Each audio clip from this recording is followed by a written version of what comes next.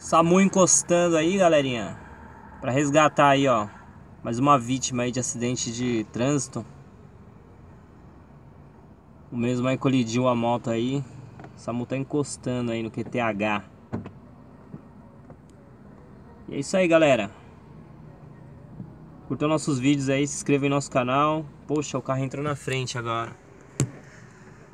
Costumamos postar aí vídeos diariamente aí com flagrantes das, das ruas aí, galerinha. Esse trânsito louco aí.